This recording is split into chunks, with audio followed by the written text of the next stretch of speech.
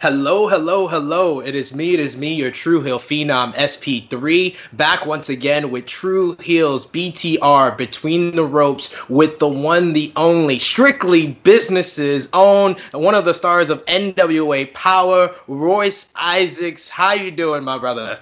Dude, I'm good, man. It's good to be uh, between the ropes because I haven't been between the ropes in weeks now. so, uh, at least in spirit, we are, right, bro?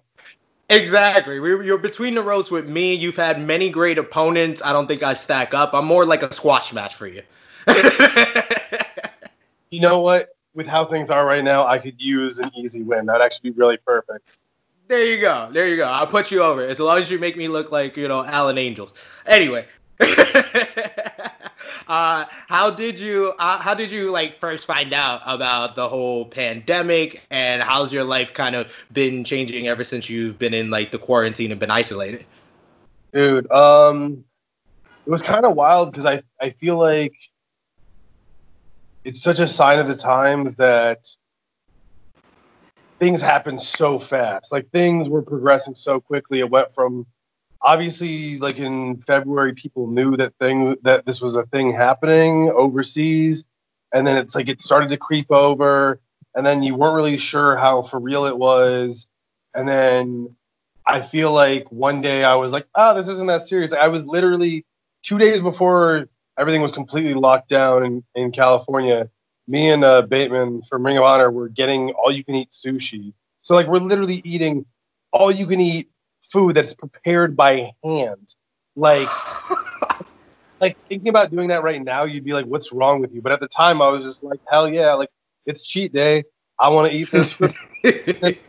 literally two days later, I was like, "Holy crap!" Like I need to stockpile all this stuff and like get like you know figure out a plan B and all that. Like it's been wild, but um I mean, it feels like it's already been longer than like whatever a month and a half ish or so right now that we've been locked up. But I mean, you know, I still I still get out, walk around, all that kind of stuff.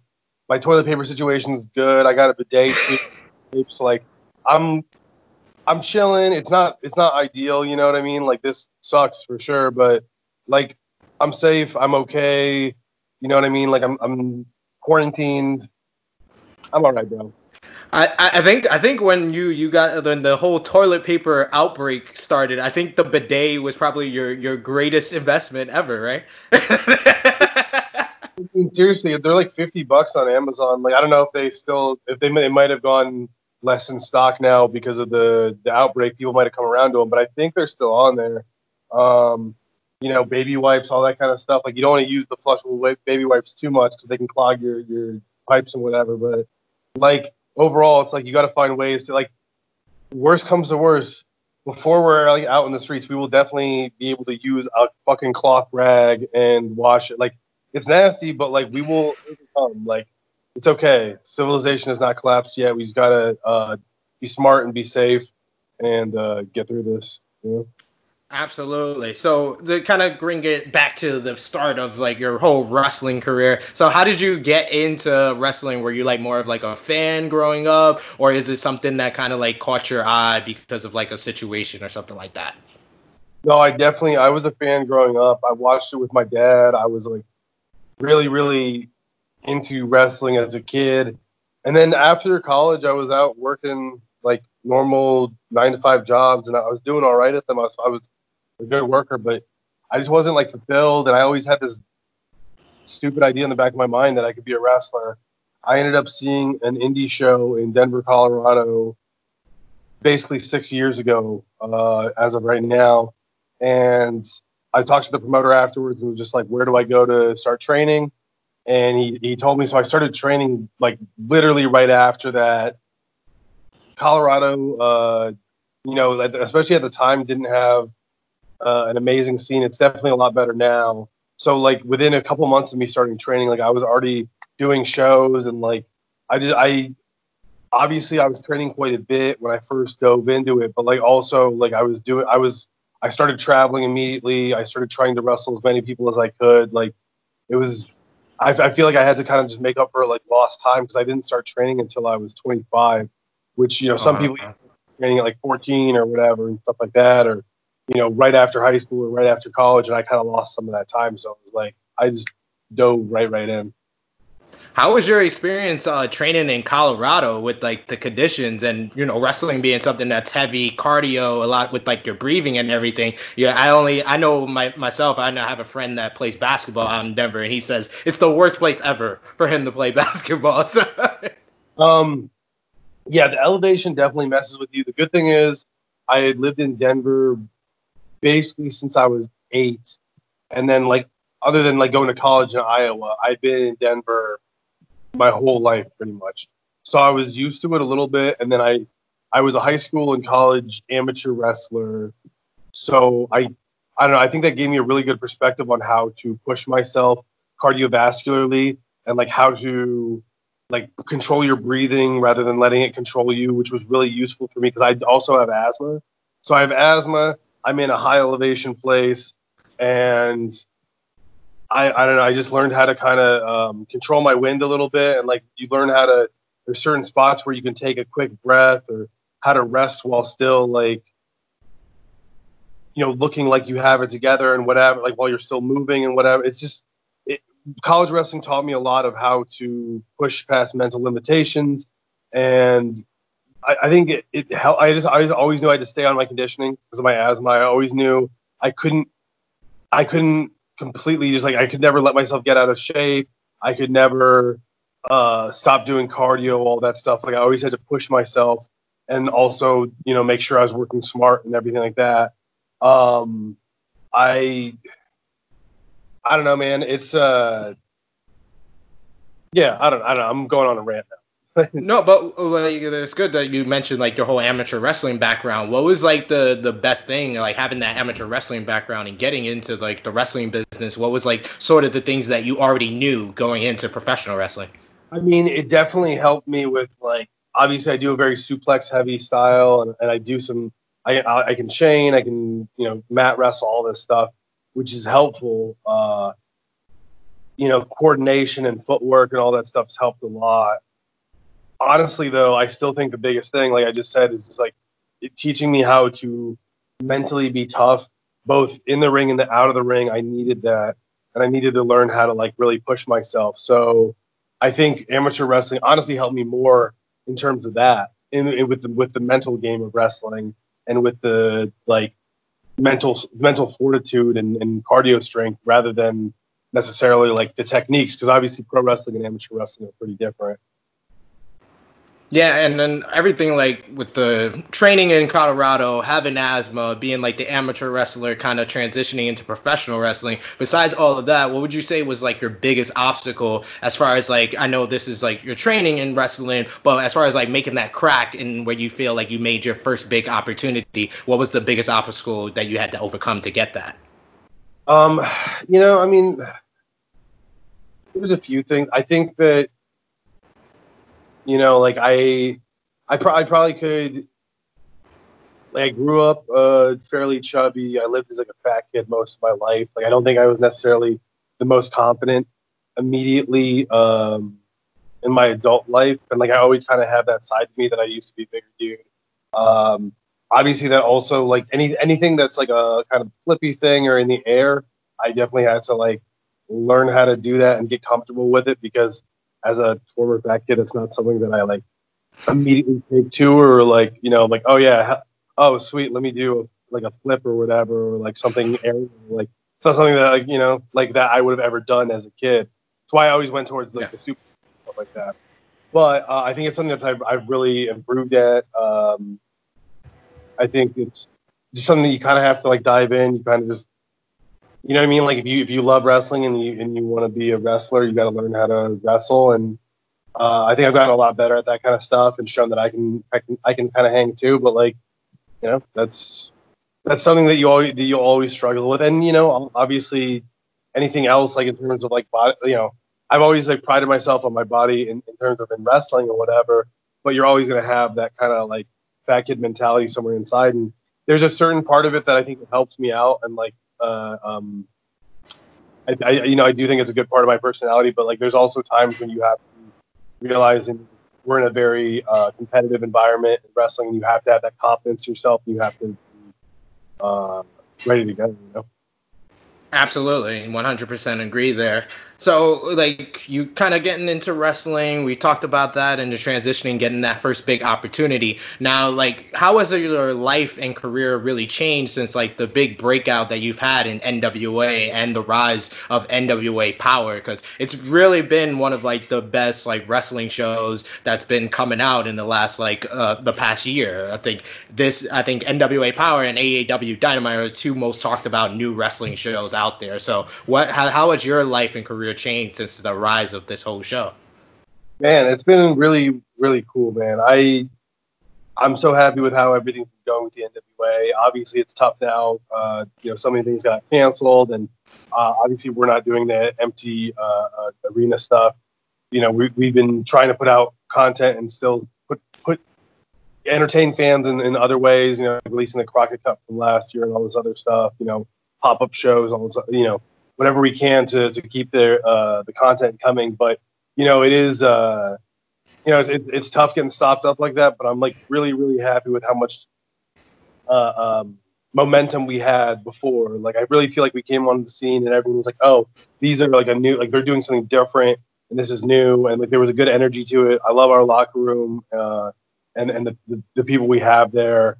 I, I can't say enough good things about um, my, my time with the NWA so far, and it's just like I just want to get over this hump with uh, Corona so we can get back to it and and get back to man. Like I, I really miss I miss wrestling and I miss my my brothers on the road and everything like that. Like I think that's one of the toughest parts. You know what I mean? Like it's like obviously there's people that are in really really tough dire situations right now, and my heart my heart goes out to them. But also it's just like I miss my peoples, man.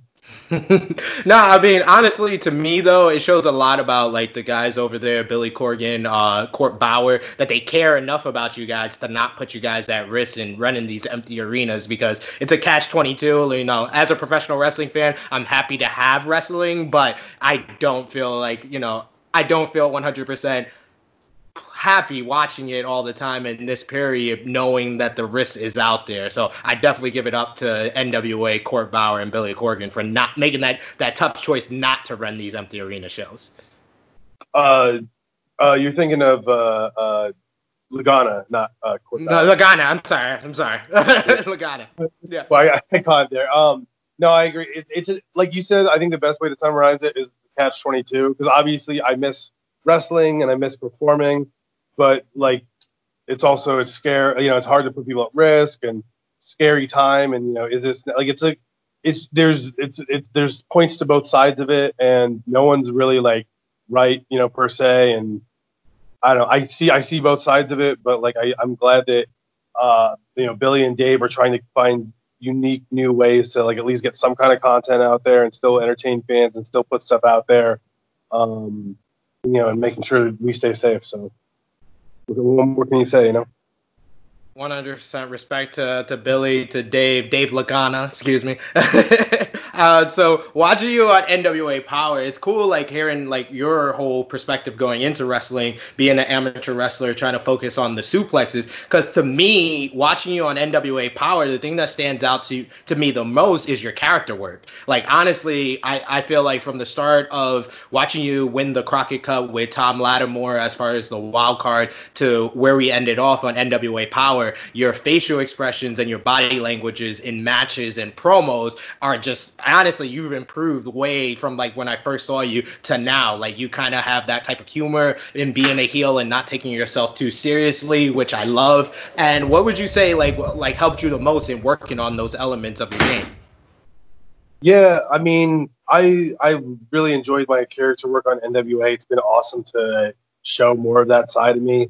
Um, I, I think also it's something that I really I pride myself on, and I pride myself on my expressions and trying to get people to feel emotion and whatnot.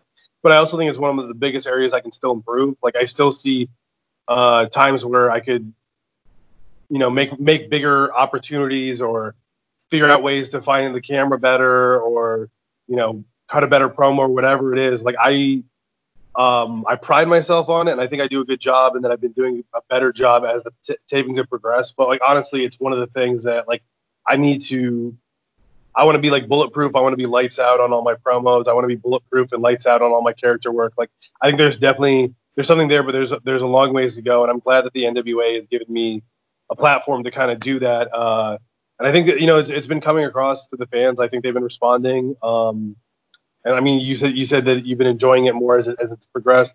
Um, that's just something that I really I oh you asked how, how to work on it as well or how how you acquire skills at that kind of stuff. I think yeah. a lot of it just in just not being afraid to dive in. Like you have to have you know, I remember um, when I first got on the road, me and my tag partner would just cut like random promos on either random opponents. Like it didn't matter if it was like could be like a random opponent at you know whatever SummerSlam. You know you're facing Brock Lesnar and you just have to cut a promo while we're on our our drive to Amarillo or whatever it is.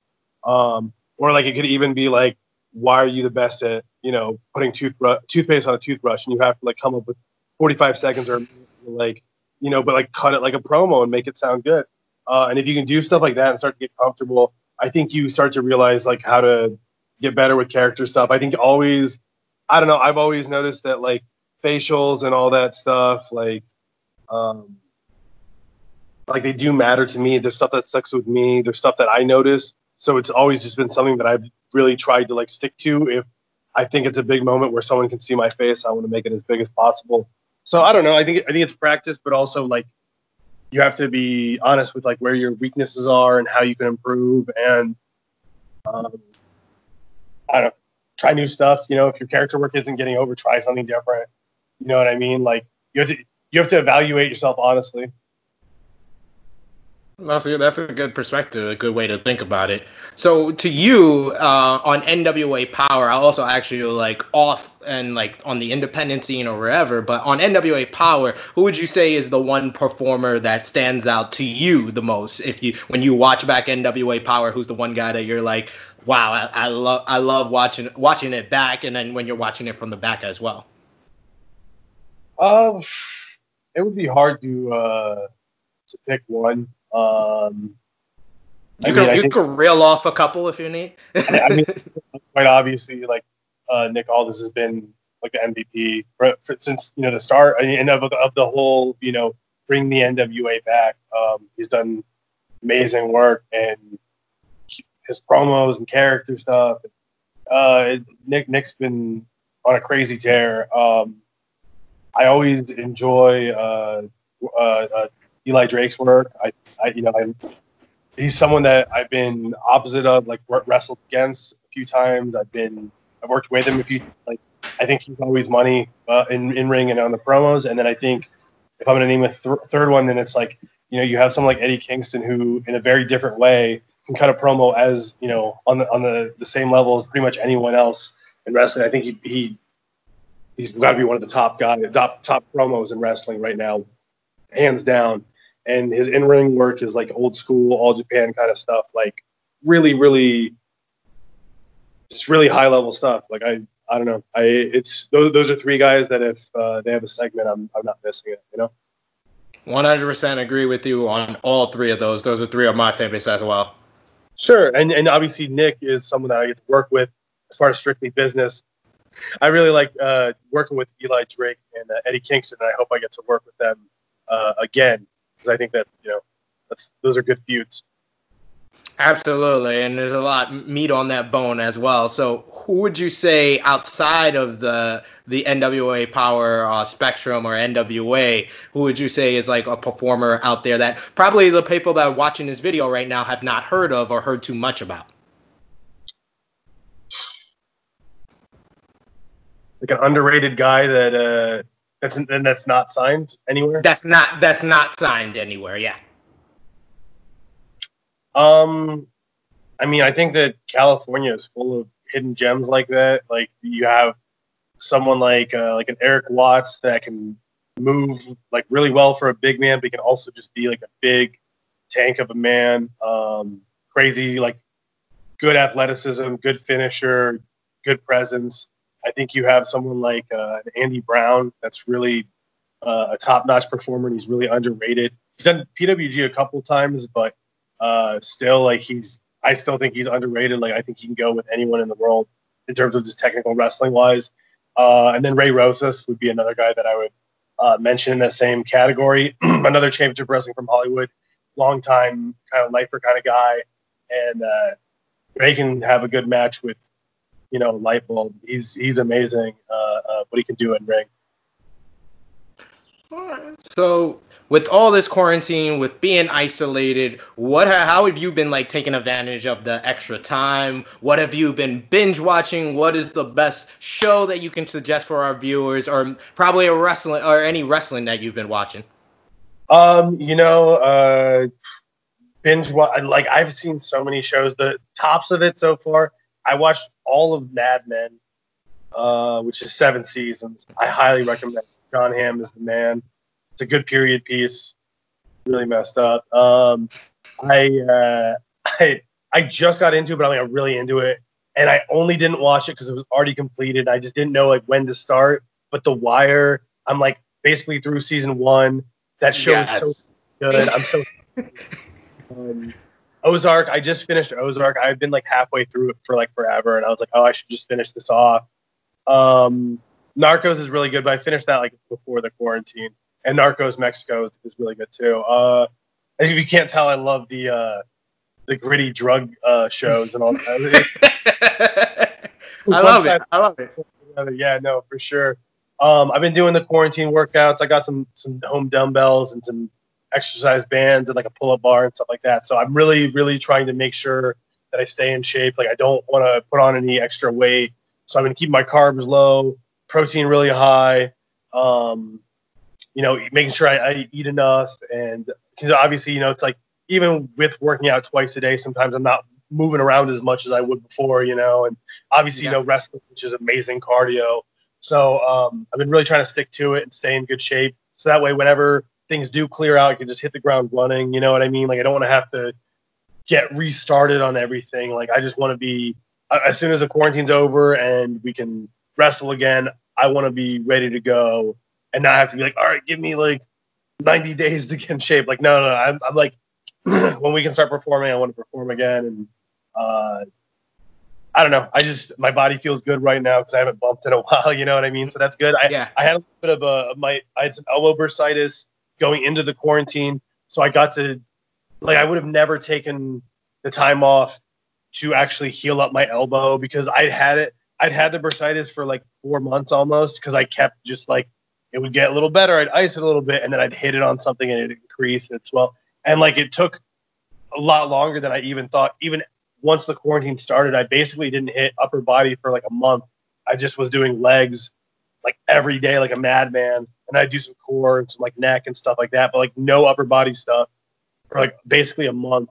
And then still after that, I really had to ease back into it, and I was still like a little bit sore and whatever. Now it feels good, but I don't know, man. Quarantine's been wild, but like overall, I just want you know, hopefully we can all come through this and be stronger on the other side of it because it's definitely been a lot of adversity for a lot of people.